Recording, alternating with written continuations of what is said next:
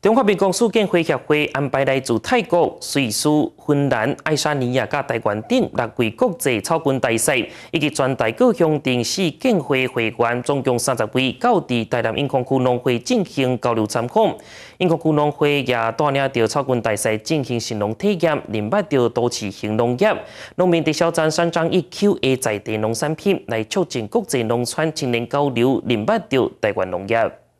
为了要促进国际农村青年交流，透过多元化体验方式，实施台湾农业，中华民国树建会协会安排来自泰国、瑞士、芬兰、爱沙尼亚、甲台湾等六位国际草根大使，以全台各乡镇树建会会员，总共三十位，到台永康区农会进行交流。首先一开始宣誓树建会公约，甲自我介绍来增加大家认识。我愿意自强。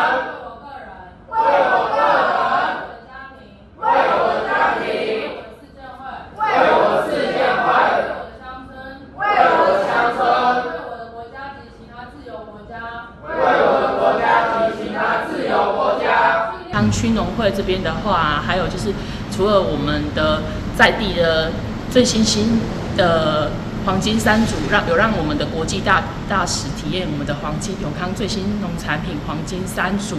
那也有让他们品尝我们在台南就是我们永康的有机芭乐，那。小朋友他们就是会员，他们对于这个有机芭乐，他们其实觉得还蛮特别的，因为国外他们国外没有这个这些产品。那他们在品尝，然后还有介绍我们台湾的三张一 Q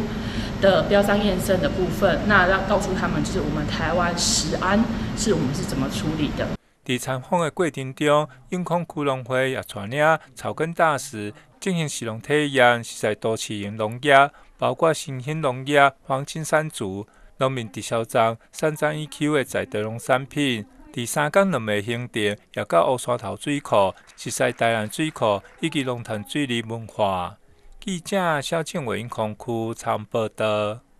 新闻最来关心。